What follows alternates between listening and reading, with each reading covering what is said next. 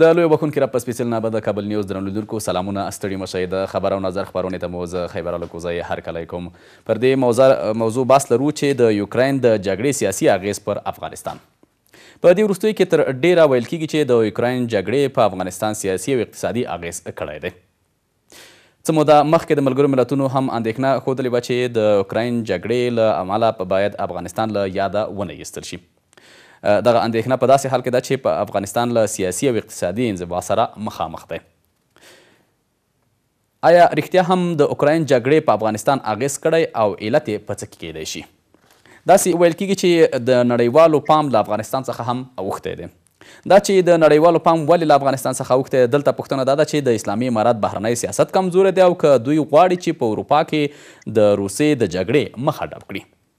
دلته اسلامي امارت ته څه کول په کار دي چې باید ویې کړي؟ ایا د اسلامي امارت اوسنۍ بهرنۍ تګلاره سمه ده که تغیرات په کې راولي؟ که تغیرات راوستو ته اړتیا ده کوم تغیرات دي چې باید رایې ولي؟ پر همدې موضوع د بحث لپاره راسره د نړیوالو اړیکو شنونکی بلال فاطمي د بحث میلمه دی. له ټولو مخکې درنو لیدونکو تاسو ته هم د اختر مبارکي وایم او فاطمي صاحب تاسو هم ستړي مه شئ اختر مبارک شه او ښه راغلاست درته وایم خپرونې ته. بسم الله الرحمن الرحیم الکوزی صاحب تاسو ته قدرمندو لیدونکو اوریدونکو ته دی اول سلامونه احترامات تقدیم وسی بیا تاسو ته خپل قدرمند او مظلوم ملت د افغانستان ته چې اخته اصلا خو زه چا تخته مبارکي د دیرشو کالو کې نه ورکوم په دې چې زموږ ملت هرګز اختر نه درلوده او اختر نه لري اختر ویل کیږي خوشحالیو ته او دې خوره کې خوشحالي نشته دی خو چون د اسلامي امارت نه نوی نظام راغلی، نوي هیلې دي او نوي امیدونه دي، په دغې هیلې او امید باندې تاسو ته، ملت د افغانستان ته او ټول امت اسلامي ته د دې اختر مبارکي وایم. ډیره زیاته مننه په خیر اوسې. فاطمي صاحب ویل کیږي چې د یوکراین د جګړې په افغانستان اغیز کړی دی او بالخصوص د سیاسي پلوه سیاسي اغیز یې څومره دی ستاسو له نظره دغه اغیز به څه پایلې ولري؟ کله چې د یوکراین جګړه شروع شوله په څلویشتم د فبروري دوه زره او یوویشتم کې دا یره ډیره شدیده وه ګر چې زما خپلې خبرې چې خلک به یاد لري او هغه کلیپونه موجود دي چې ما ویلې چې خدای وکړي مونږ دوی هیر کړي هغه ما غربي نړۍ ښودله په دې چې دومره فشارونه او دا په افغانستان او په اسلامي امارت زیات وو چې موږ لکه دې موږ هیر کې چې موږ شو کولای خپل کارونه منظم کو خپل د منطقې سره روابط خو کو خو هغه رنګي چې موږ فکر کوو هغه سي اغیزه په سر کې وجود نه درلودله یعنی دومره تاثیر په افغانستان باندې ونه ک او نړۍ بیا هم متوجه او کنفرانسونه د افغانستان په حق لکه دایر شول الته د افغانستان موضوع ژوندۍ و درست ده چې دغه تاثیرات لږ زره دغه وو مګم په هغه کچه باندې چې موږ فکر کوو په هغه کچه نه وو اوس چې د دې جګړې نه دوه میاشتې تېرې شوې دي، روسیه په خپل اوله ستراتیژۍ کې ناکامۍ سره مخ شوې ده او هغه پلان یې چې درلوده هغه باندې دوی ونه شو کولای چې قضیه د یوکراین په زر حل کړي، نو دلته چې خپله نړۍ هم اقتصادي توجه دغې ته یوکراین ته ډېره کړله او هم یې سیاسي توجه ډېره کړله او بله خبره دا ده چې چون موضوع د جنګ ده او هغه کوم اخطار چې سرګي لاوروف پرونابله ورځ ورکړ، که چېرته اروپا او امریکا خپل لاسونه د یوکراین نه وا نخلي او موږ دې ته وهڅوي چې موږ د حتی د اتومي بټۍ ته لاس ویسو او اتومي بټۍ د استعمال موضوع منځ ته راشي، په داسې صورت کې نو د ده د ده اغېزه په نړۍ باندې هم ډېره زیاته وه او د ده تاثیرات هم دا دي او د دغه نوي حرکت نه پس د دې فشارونه به افغانستان او په منطقې باندې راځي موږ تاسو ګورو چې په خپل د یوکرين د قضیه اغیز دومره زیاته په موږ تاسو نه ولکه څومره چې خپل په غربي نړۍ باندې دي نه تر هغه چې سیاسي اغیز او نظامی اغیز درلودل اقتصادي اغیز هم ډیر زیات او په مارکیټونو کې د ډیر شانو کم کم سره دوی مخ شول بل خصوص د اروپای شرقي ممالکو کې د خوراکي موادو کم سره دوی مخ شول او په اروپا کې هم د غذایی موادو د کمښت لپاره تدابیر ونیول شول نو ښکاره خبره وه چې د یوکراین جګړې یو نړیوال اغیزه درلودله او د هغې اغیزه په افغانستان باندې خامخا وه خو په هغه لیول او په هغه کچه چې موږ تصور کوو په هغه لیول نه وه بل دا سیدا چې فاطمی صاحب اوکراین جګړه هم پای شوه دلته د اسلامي امارات نه میاشتې تقریبا په تیریدو سره تر اوسه پورې د رسمیت ته نه دي تللي دغه تاثیر د دې دی چې نړۍ رښتیا هم افغانستان له یاده ایستلی دی او که نه دی روسیه غواړي یا اروپا غواړي چې دلته د امریکا ورسره چې د روسیې مخه د اروپا کې مخته تګ باندې ډب کړي څه علت یې څه دی دلته؟ ګورئ څنګه چې ما په اوله بخش ستاسو د سوال کې صرف په سیاسي بخش او په اقتصادي بخش د اروپا او په دنړۍ باندې صحبت وکړ اوس ستاسو د سوال جواب دا دی چې ولې په رسمیت ونه پیژني د یوکرين د اغیز نه زیات زمون خپل د امارت اسلامي د داخلي پالیسیګانو تاثیر د افغانستان د نه رسمیت پیژندنې او د عدم د اقتصادي همکارۍ هغه زیاتو هغه کې موږ تاسو کته چې ټول نړۍ په په شمول د ملت د افغانستان او ټولو په دغه د خونځي په بندو بندیدلو باندې نهایت خفګان ښکارا ک او دا دې موضوع باندې ټول ډیر غمجن شول او غمجن دي ځکه چې تر اوسه ښوونځي نه دي خوشي شوي سره د دې چې تعهد او وعده د امارت اسلامي خوانه شوې وه او د یو مسلمان تعهد او خپل په ژبه ودرېږي ځکه چې دا د قرآن او د سنت په اساس باندې د یو مسلمان که چېرته خپل په تعهد او په دغې نه ودرېږي د ده د ده هغه خبرو اعتبار او دغه کمیږي نو همدا علت دی چې د خارجي تاثیراتو نه زیات د افغانستان په موضوع باندې دومره د یوکراین قضیه اغیزه نه وه لکه څومره چې د داخلي پالیسیګانو اغیزه وه په هغه داخلي پالیسیګانو کې یو می تاسو ویل چې خونځیو بل دا چې د امر بالمعروف د خوا نه چې دا کوم مسایل ډېر زیات را مطرح شول چې کوم یې په اولو شپږ میاشتو کې نه وو مطرح شوي او خلک په دې هیله وو چې دغه کوم مسایل چې په هغه تېر نظام کې شوي وو په دې نظام کې به هغه نه پیاده کېږي او نو هغه مسایلو ته چې کله مخ ته مخه راوړل شول او د خلکو په تنګول باندې شروع شول نو د دې منفي اغېزه نه تنها چې په داخل د افغانستان کې وه بلکې په بهر کې هم وه او دنیا دې ته متوجه شو چې اسلامي امارت یو ځل بیا په خپل هماغه منفي پالیسیګانو خواته روان شو نو هغه د تاثیرات زیات شول او په دننه خوره کې دا یو تاثر پیدا شو چې د اسلامي امارت دننه داسې لاسونه او داسې کسان دي چې بهرني ملکونو ته کار کوي او هغه نه غواړي چې دغه نظام خپې ټینګ شي او افغانستان کې یو سم اسلامي او مستحکم نظام چې وشي کولای خپل خوره دغه تمامیت او دام تر لاسه ونیسي نظام هم جوړ شي او دنیا هم پرځمه پیژني دا اصلا هغه خلک نه غواړي نو ځکه دا نظام تضیف کړ نو زما په آن باندې زما په خپل سیاسي تفکر سره دغه ما تخکاری چې د بهرني اغیز نه داخلي اغیز ډیر زیات وو که چېرته اسلامي امارات دغه ساحه کې خپل لږ نرمش راولي او خپل موږ دا نه وایو چې دوی د هغه اسلامي سنتونه چې د دوی په نظر سره باید ملت افغانستان چې د قرآن او سنت سره دی باید تطبیق کړي موږ نه وایو چې دوی د دا ممانعت وکړي دوی د دا نه منې کوي مګر دغه د په هغه سنت د رسول الله صلی الله علیه وسلم چې رحمت للعالمین دی او هغه دا ویلو چې زه هغه کار په جبر باندې نه دی کوي بلکې د تبلیغ د لارې نه د اصلاح له خلکو لپاره کړی موږ باید خلکو ته درس ورکړو اصلاح ورکړو چې خلک په خپله باندې میل پیدا کړي چې هغه شیان چې سنت د پیغمبر د خدای دي او په هغې کې اجر او ثواب شته په خپله میل باندې هغه وکړي نه چې د د دروي او د وهلو او د د ټوپک په قنداق په وهلو په زور باندې دغه شیان عملي شي دا ملت د حکومت نه لرې کوي، دا تنفر پیدا کوي او دې منفي اغېزه په نړۍ باندې کېږي او هغه د په مقابل کې موږ او تاسو چې کوم کومکونو ته ضرورت لرو د بشري او اقتصادي او سیاسي رسمیت پېژندنې ته دا خود به خود د په مخ کې خنډ راځي او یو بله غټه موضوع چې د سره ادا کېږي هغه دا دی لکه څنګه چې په یوکراین کې روسیې په خپل په پالیسۍ کې چې د سستۍ نه کار واخیسته او زمان د لاسه ورکړه د دغه زمان نه غربیانو استفاده وکړه نن یو لوی جبهه په مقابل کې روسیې کې جوړه کړله همدارنګه د اسلامي امارت ته دا زمونږ توصیه ده چې که څومره تاسو دا موضوعات اوږدوئ او وخت زمان درنځي دښمن ستاسو دریو غاړو ته راغلی دی او تاسو ته مقابل کې لګیا ده، جبهه جوړوي، پیسې ورکوي، خلک درته روزي او په داخل افغانستان کې ګورئ چې د داعش دغه پیاوړی شوی دی، انفجارات په مزار شریف کې، په کندز کې، په کابل کې او ترورونه او اختطاف هم شروع شوی دی. ډېره د مخنیوي لپاره ډیره مننه فاطمی صاحب فاطمی صاحب باس ته بیرته راګرځو خو اوس یو لنډه شاندمه لرو درنو لیدونکو تاسو هم را سره پاتې شئ یو لنډه شاندمه لرو بیرته راګرځو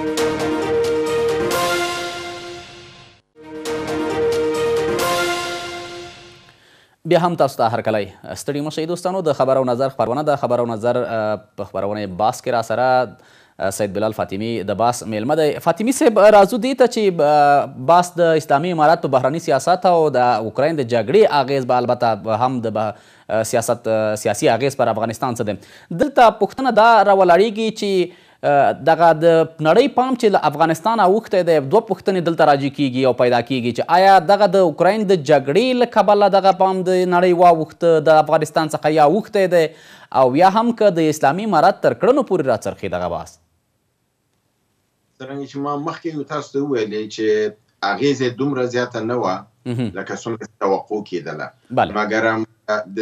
فعلا چې کوم یو تاثیرات موږ ګورو دومره اغېزه د یوکراین د قضیې نه ده لکه څومره چې د داخلي پالیسیګانو اغېزه ده، یعنې خپله د اسلامي امارت د داخلي پالیسیګانو په نتیجه کې منفي اغېزه ډېره زیاته شوې ده چې هغې ما تاسو ته اشاره وکړله په طرف د د ښوونځیو د بندش او همداسې هغه بعضې واړه نور مسایل چې د امر بالمعروف د خوانه خلکو ته متوجي دي فرضاً چې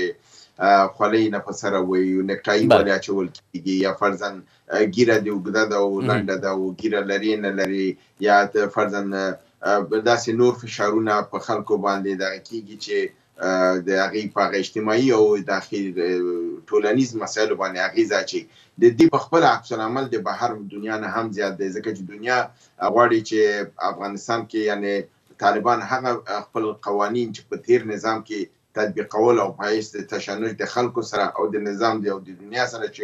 او په اخر کې باعث د سقوط د نظام هم وګرځیدل نو هغه باید تکرار نشي او د هغه د عدم تکرار لپاره ښکاره خبره ده چې دننه خاوره کې موږ تاسو ګورو چې څومره دا فشارونه زیاتیږي د ملت او د حکومت ترمنځ فاصله پیدا کیږي او عین د حال کې نړۍ هم خپل فشارونه زیاتوي زما په نظر هغه مسایل چې واړه دي او د هغې پیاده کول یا د هغې پلی کول په دې وخت کې دومره اړین نه دي نظر فرضاً موږ ته ډیره مهمه دا ده چې د اسلامي نظام هم چې راوړی دی د د نظام د استحکام لپاره کار وکړو حکومت قوي حکومت شي اقتصادي بنسټونه جوړ شي سیاسي رسمیت پیژندنه وشي او مراوي دی او دغه د نړۍ سره کله چې ستا نظام قوي شي حکومت د مستحکم شي دنیا په تا په رسمیت وپیژني او ستا اړیکې د دنیا سره جوړې شي مراودې دې جوړې شي خلکو ته کار پیدا شي اقتصادي ضرورتونه د خلکو رد رفع شي په هغه وخت کې کله چې ته خلکو ته کار ورکړي، معاش ورکړي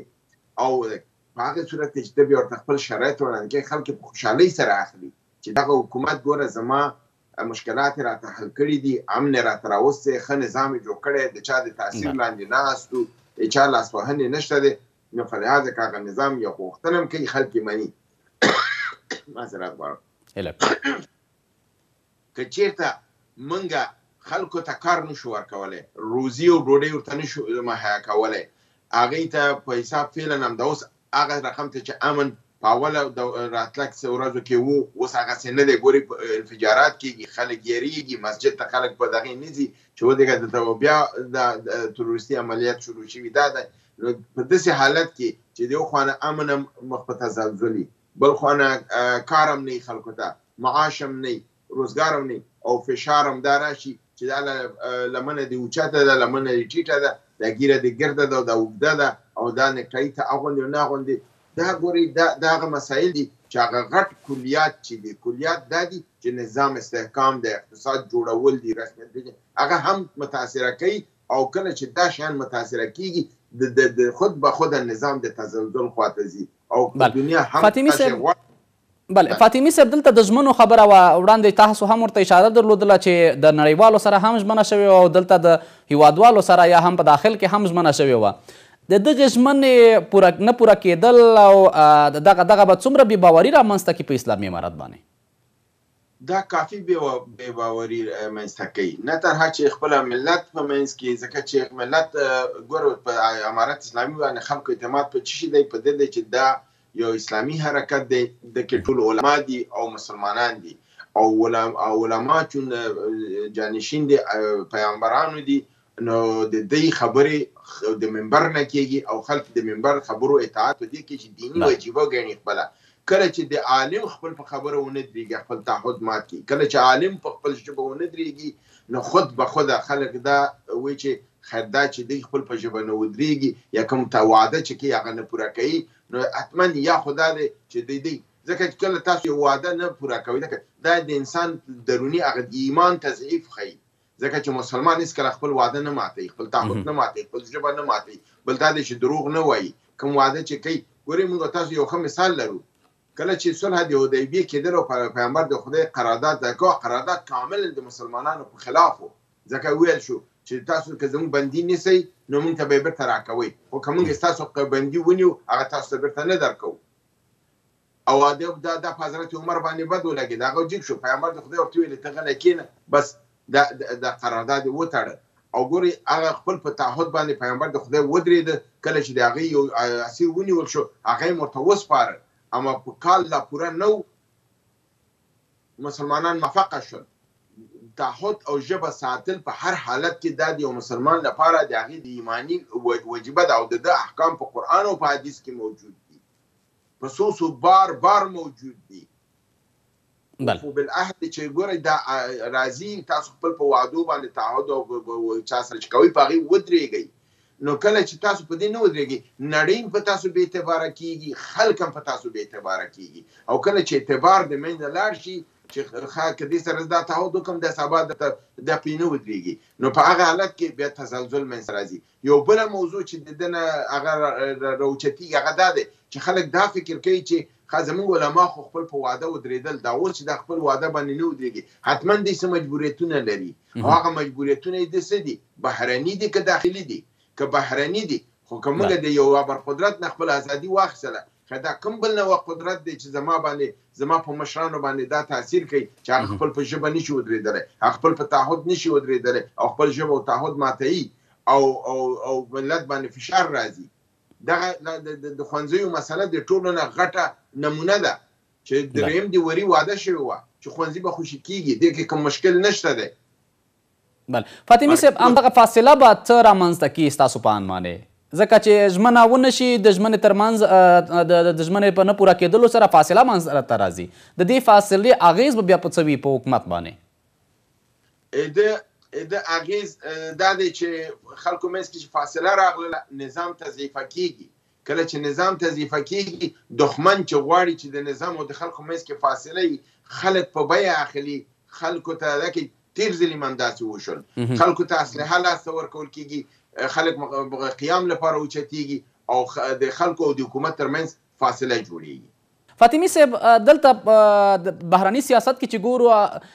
اسلامي امارت هغه هیوادونو ته دیپلوماتان استولي یا یې هم لیږي یا دوام لري د دیپلوماتانو لیږل چې د امریکا سره د هغې ستراتیژیک یا هم هغه د هغې سره تړونونه او هغه یو څه په ټکر کې دي لکه روسیه شوه ایران شو یا چین د هغې سره یو څه دیپلوماتیک سیستم د دوی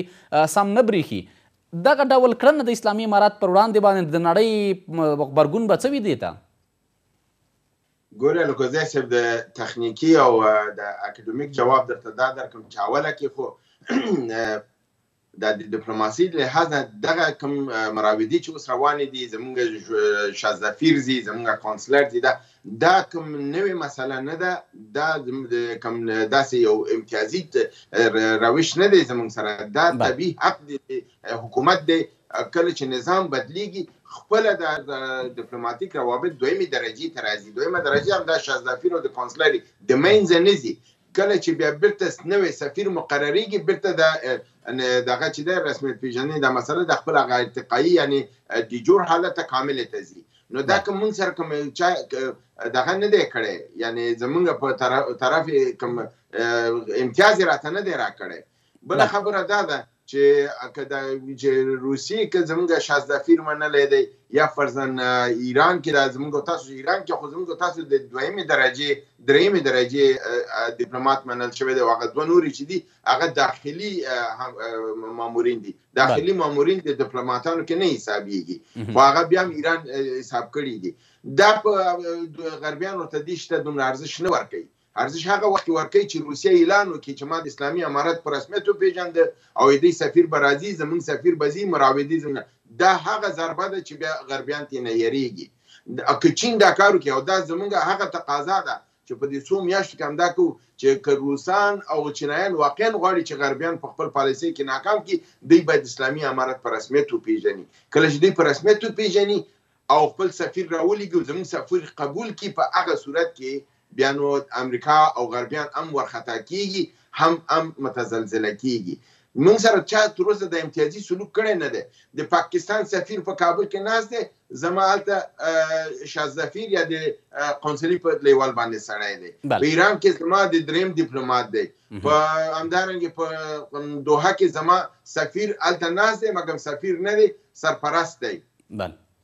نو په دې دغه حالت ډول کې دا اغیزه نه کوي بله غربیان په دې شي پوهیږي په دې باندې کار په هغوی باندې دا مسله تاثیر نه کوي بله خو نورو هیوادونو لکه لاړ شو چې اروپایي هیوادونو نورو بیا دغه هم نه دي منلي آیا بیا هم دلته د هغوی ځان لرې والی احساس کوي یا هم د اسلامي امارت سره نه غواړي چې جوړ جاړی وکړي که څنګه علت دلته څه کېدلی شي یا اسلامي امارت نه دی توانېدلی چې هغه قناعت ورکړي چې حد اقل یو شازدافیر هلته ومنل شي بیا هم دلته دوه خبرې دي یو خو دا دی چې دی باید اقدام کړی خپل نفر باید معرفي کړي ورته ځکه ته سفیر نه معرفي کوې ته د دویمې درجې دیپلومات معرفي کوې کله ته د دویمې درجې دیپلومات معرفي کوې هغه د دویمې درجې دیپلومات ستا هغه باید ومني بله خبره دا ده چې هغوی دلته خپل دفاتر خلاص کړل کله چې تا سره دفتر خلاصي ته به دفتر خلاصي بالمثل عمل کیږي دیپلوماسي بالمثل عمل دی بله تا که تا په رسمیت پیژنې په رسمیت یې پیژنې که چېرته رسمیت د اول درجې نه دویمې درجې ته شاه ظفیر ته شاه ظفیر به رالیږي شاه ظفیر لیږي که یو نفر دې وباسي یو نفر ورته وباسي که یو نفر درته مني یو نفر درته مني دا بالمثله حرکت دی دلته چې تاسو دا سوال وکړ چې آیا اسلامي امارت په خپل په دې خارجه پالیسي کې دي کې کم راغلي ده او دوی کم راغلي دوی د نونه توانیدل چې هغه ته قناعت ورکي او یا دا عمل بالمثل ورسره وکي چې وروره تا ما ته خپل دفتر په کابل کې سوال سفارتونه دي دغه راغلل د اروپאי خپل نمائندګیګان جوړ کړي افغانستان بالمثل باید سوال نمائندګیګان په مسوالس ممالک کې جوړ کړي که ملګرو ملتونو دلته دفتر خلاصي په ملګرو ملتونو کې بل مثله به زما هماغسې نماینده هلته اوسي بله. دا هغه دغه دی چې دا د ډیپلوماسي د نورم سره مطابق عمل دی دلته اسلامي امارت ولې ونه توانېد چې دغه قناعت یې ورکړی وی او یا هم دغه بالمثل عمل ترسره شوی وی؟ د دې باندې ما څو ځلې انتقادات کړي دي هغه مې همدا ویلي دي چې دلته مشترکه ژبه پکار ده او دلته فني کسان پکار دي فرضاً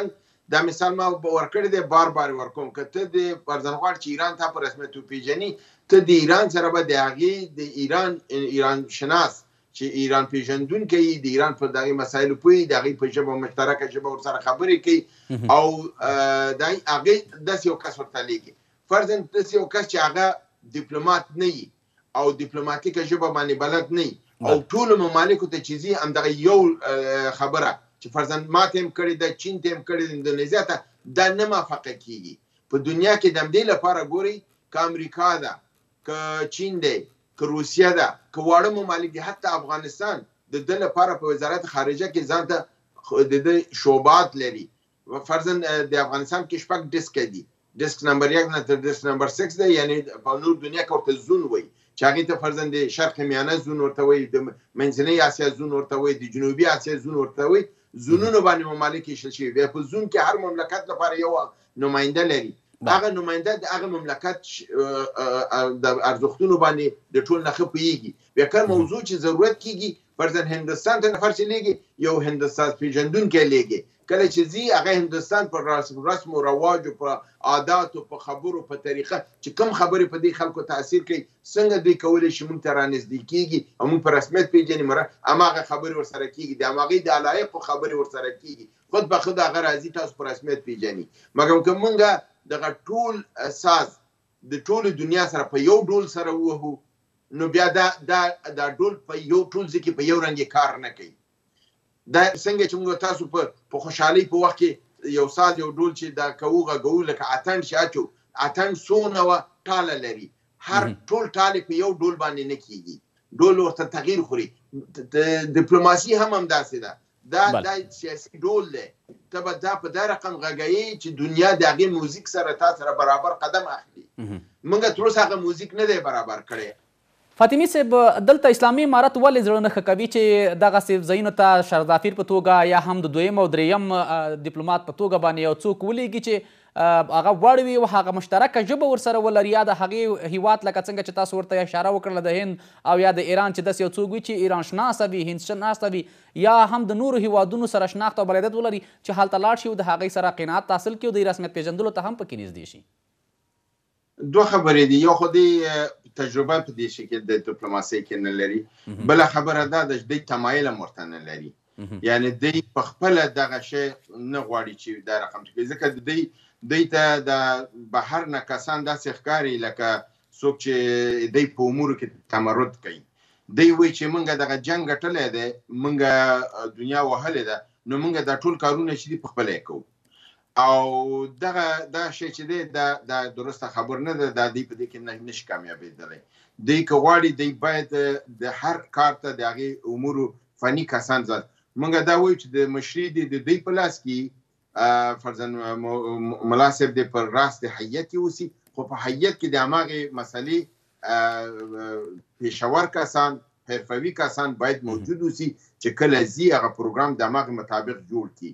فرضاً بل ورځ ما په یو پروګرام کې انتقاد وکړ چې دغه هیئت چې د اوانوردی مسلې لپاره د قدر تتل په د شپاړس کسو کې یو قسم فنی نه ښکاره کېده نو ما ته د جواب دار ته ولیکل شو چې نه فنی کسان په بل ځکه دی غي لیکلو دا مونږ تراکی مونږ دا خبره صحیح نه ده دا ځکه خو ګوري هر وزارت دی وزیر لري بیا معین تخنیکی لري معین مالی لري معین بله اداری لري دغه معینان چې دي دغه ته په هیئت کې دنه ځان سره شریک کیې او دغه معین چې هلته یي تا سره ستا معینیت کوي همکاری درسره کوي او تا ته د هغه کوم په حساب کوم یو مراوده چی هغه درته جوړیي هغه مشوره درته درکوي مشر چې دی هماغه خبرې کوي کوم شی چې ورته مشوره ورکړ شوي نو دا بله خو نه ده چې تخنیکی کسان چیرته بل ځای کې پټ ناست وي او هغه خپل کار کوي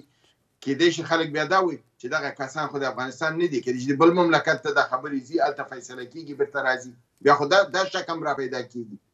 نو د ده لپاره د دوی ته دا لازمه ده چې دوی دغه اعتماد په خلکو وکړي، خلک خپل په منځ کې قبول کړي، تر څو نظام استحکام خواته لاړ شي، رسمیت پېژندنه وشي او مراودې او دا نارمل حالت ته راشي. نو تر څو چې دا مسله نه وي شوې، دا دا عدم اعتماد ښيي د دوی په نورو باندې او کله چې ته په بل چا بې اعتمادي کوې دا خپله د نفس بې اعتمادي هم ښيي بله ځکه چې انسان چې خپله په ځان باندې اعتماد ونه لري په بل باندې هم اعتماد نه کوي بله فاطمي صاحب دلته تجربه خو په هر صورت تجربه نه لري تجربه به حاصل کړي او را به شي مخ ته به لاړ شي خو د نه تمایل کېدو علت په څه کې کېدلای شي چې دی تمایل نه ښکاره کوي او دغسې کسانو باندې یا باور نه کوي چې هغه واخلي وړ کسان وي چې له ځانه سره یې ونیسي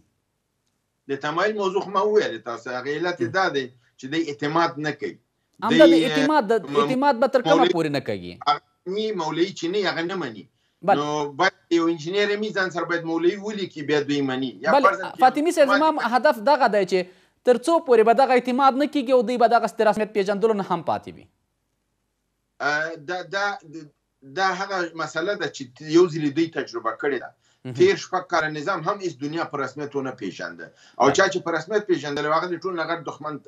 ثابت شو فرضاً پاکستان دی په رسمیت پیژندل اولین کسان چې ګوانټانامو ته لاړل او په امریکا ته وسپارل شول هغه پاکستان نه وو فلهذا هغه روابط هم په اساس د روابط دیپلوماټیک نه وو ځکه په دیپلوماټیکو روابطو کې یو سفیر تر اخره پورې هغه مسئون دی ته سفیر که چې د استا خوره کې وو دی ترسو چې خپل خورې ته عودت نه کړي دی ګوري مولوی صاحب ضعیفي ونی و او لباس یې ونه ویست امریکایانو ته وسپاره نو د دې معلومېده چې پاکستانیانو هغه رسمیت پیژندنه هم په اساس د ډیپلوماسۍ مونږ سره نه وه نو دا هغه تجربه ده چې دوی د تیر ځلې نه لري دا باید دا ځینې نه وای تکرار شوی اما بیا هم لګیا د هماغه شی تکراري او رسول د خدای وی چې یو مؤمن مسلمان دی یو سری نه دو ځینې نه چیچل کیږي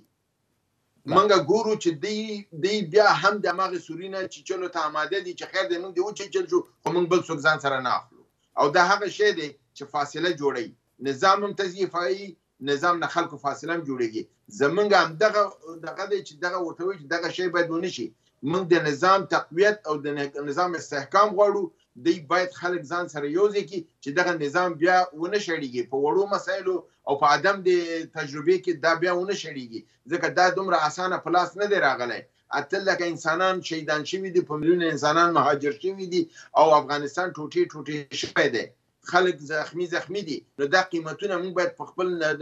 ناتجربه کاری نه او یا د هغه اعمالو نه چې موږ یو ځل تجربه کړی دي چې ناکام کړی اسو د هغه په تکرار سره باید دا عمل دوباره تکرار نشي بل فاطمی صاحب تاسو وړاندې ویل چې ما یا تماس ونیو یا هم د اسلامي امارت د لوري راته داسې ویل شو چې فني کسان زمونږ تر شا شته یا په نورو ځایونو کې دي ایا فني کس چې مقابل نه وي او د مقابل کس سره خبرې اترې ونه کړي، هغه څه چې تمه کېږي یا هیلې ترې نه کېږي، هغه څه به تر لاسه شي؟ همدا زما جواب هم و. زما جواب همدا و چې فني کس باید موجود اوسي. حتی هیئت کې باید بالکل واضح وي. د دنیا ټول هیئتونه وګورئ، کله چې یو ځي ته هیئت ځي، پنځه تنه، اووه تنه، دوولس تنه، هغه کې بالکل فني کسان معلوم وي چې دا مشر دی، دا وزیر دی، دا دا دغه دي خو دا کسان فني دي افني کسان بالکل په امیز په سرم ناشتي کوم بله. دقیقه کې چې د رئیس مجلس نه خبره دی خو خوا کیږي دا فني کس دي سي وړکه نوټ لیکي او الته رئیس ته مخ کیږدي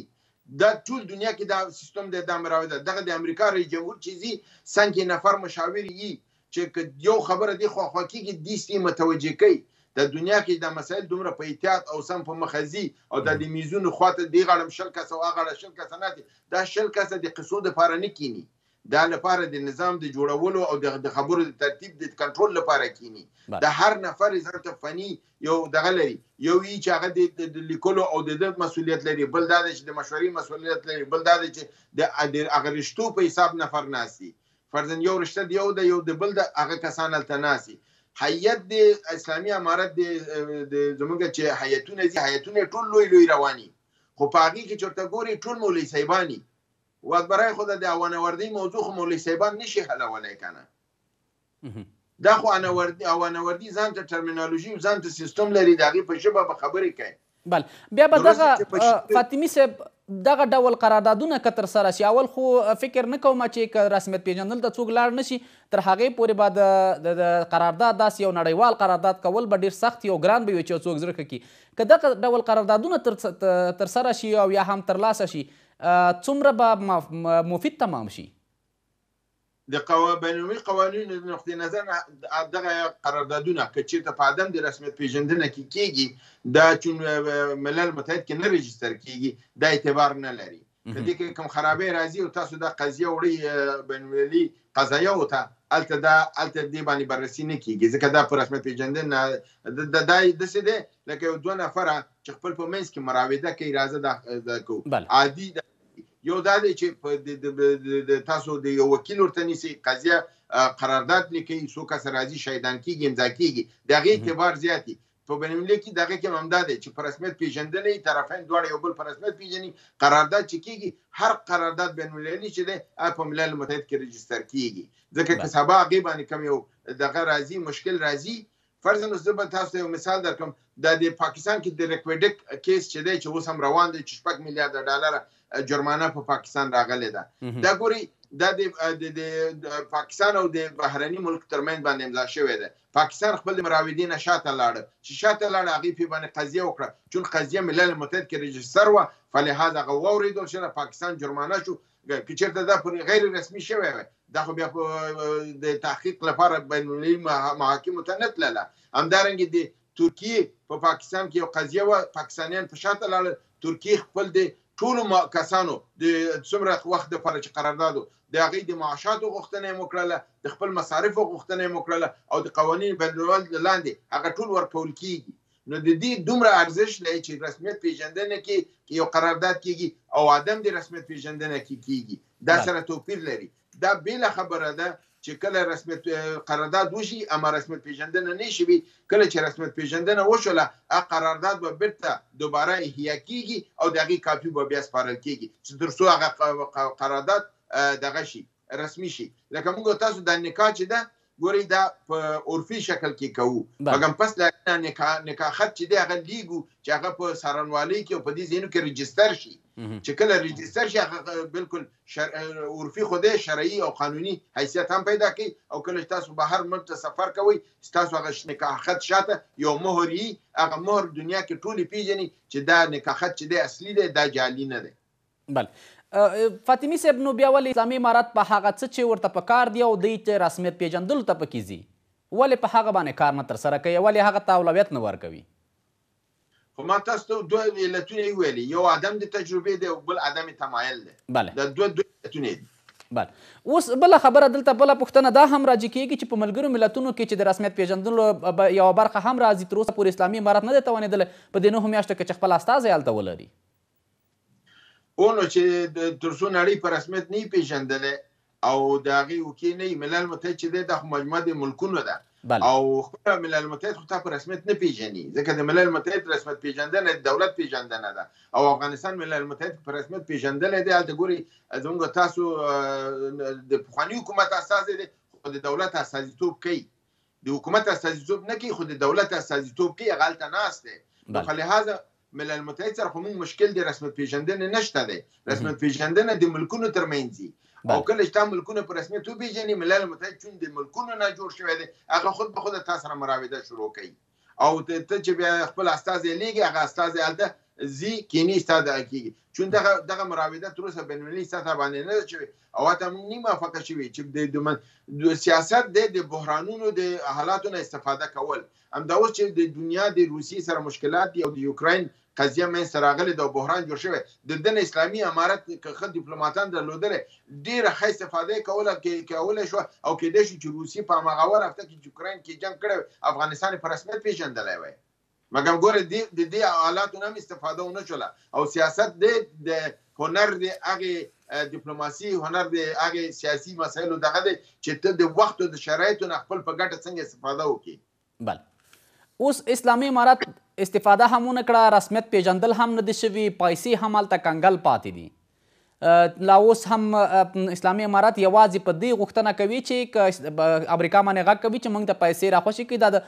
افغانانو پیسې دي او دا د هغه پیسې نه چې تاسو یې واخلئ سپټمبر یولسمې پېښې ته یې ورکړئ څه ورته په کار دي چې لا اوس هم د جګړه روانه ده د اوکراین جګړه روانه ده تاسو وړاندې هم ورته ویل چې اغېزې څومره چې فکر کېده خو هغو نه ونه شو ممکن که دغه جګړه نوره هم اوږده شي شاید اغیز یې وشي اسلامي امارت ته څه کول پکار دي چې باید ویې کړي؟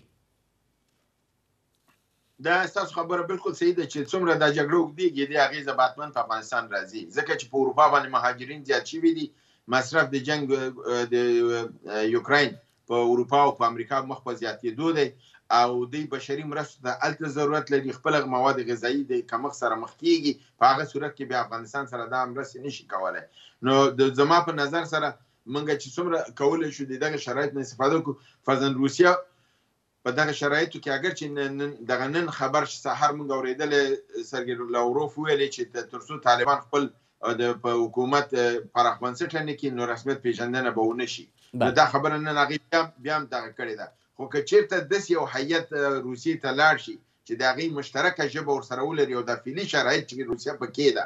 د د شرایطو په اساس ورسره خبرې وشي زه په دې سلو کې سل متیقن یم چې روسیه په افغانستان په رسمیت پیژني بله فاطمي صاحب که چیرته روسیه او یا هم چین اسلامي امارت په رسمیت وپیژني آیا هغه څه چې د افغانستان هیلې دي او یا هم افغانستان ورته اړتیا لري دی پوره کولای شي چې امریکا یې ونه مني؟ بلکل امریکا اوس ایران درې څلوېښت کاله کیږي نه پیژني په رسمیت. ایران کې کوم چې تغییر راغلی منطقي خلک پیژني اروپایي اکثر ممالک ایران په رسمیت نه پیژني روابط نه لري د نو موږ تاسو هم ایران ګاونډیان کې یاستو که روس او چین ما په رسمیت وپیژني خود به خود د څنګه ګاونډیان چې د چین او روس سره نږدې دي هغه په رسمیت پیژني او دا د افغانستان لپاره کافي ده کافي ده چې د افغانستان مراودې شروع شي، بانکي سیستم یې شروع شي، اقتصادي مراودې شروع شي او د سفارتونه یې فعال شي. کله چې دا وشي زه تاسو ته د دې یقین درکوم که روس او چین دی دې ته اړ کړل چې دی په رسمیت وپیژني امریکا به دریم مملکت چې په دویمه ورځ راځي په رسمیت وپیژني ځکه امریکا تا دوی ته نه پرېږدي هغه امریکا غواړي چې اوس خو امریکا په دې خوشاله ده چې روس او چین په په مفته کې د هغوی په سایت باندې لګیا دي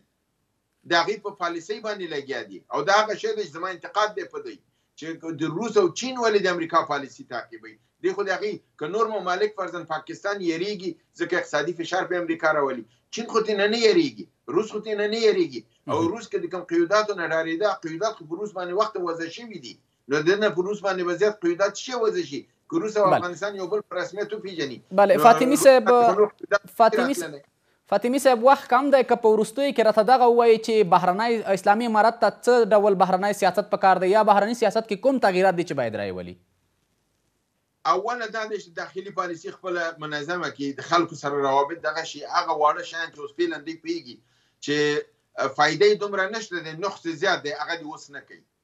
اول د خپل نظام د استحکام لپاره کار وکړي اقتصاد اقتصادي مسایلو باندې کار وکړي او کوشش وکړي چې خلک تینا فاصله پیدا نه کړي خلک غي کې ونیسي اوله خبره دا ده دویمه دا ده چې کله دا کار یو کړي تاثیر خود به خود بیرون خواته زی دویمه دا ده چې د بهرني ممالکو سره چې کوم سره ډیر نږدې یاست موږ تاسو هغه سره د شریکه مشترکه ژبه پیدا کی او د هغه د پالیسیګانو مطابق چې هغه کوم پالیسی لري او زمونږه کومه پالیسی ده هغه د ناپیلې دغی په اساس باندی چه غیر وابسته دغه یی وجوړه دی کی خود به خود کامیابی لاسه راځی ځکه افغانستان یو تړلی مملکت نه دی ناپییلی مملکت دی او ناپییل توب کی زمونږ کامیابی ده ځنګه ځکه چه مونږ اقتصادی او سیاسی نهاز نه حکومت قوی نه دی ضعیفه دی نو مونږ طرف نشو نیولای دا کوم چه ما د په د مجبوری په حالت کی وویل چه روسیی ته نزدیکیت دا د ناپییلی پالیسی خلاف یو دغه دی خو په مجبوریت کې کله چې تاسو ته ضرورتي انسان مجبوري کې داسې پالیسۍ ته ځي خو کله چې دغه پالیسي ته لاړ شو او کامیاب شو او امریکا په رسمیت وپیژني موږ تاسو بیرته ناپیلتوب خواته تللی شو. ډیره زیاته مننه فاطمی صاحب چې بحث کې مو راسره ګډون درلود. مننه ستاسو نه. خوشحاله شېبې او ښه اختر ولرې الله مو مل شه دوستانو له تاسو هم نړۍ مننه چې بحث مو راسره تر دې ځای پورې ولید بیا دې هم د ستاسو ټولو اختر مبارک وي او خوشحاله شېبې ولرئ ښه ژوند مو په برخه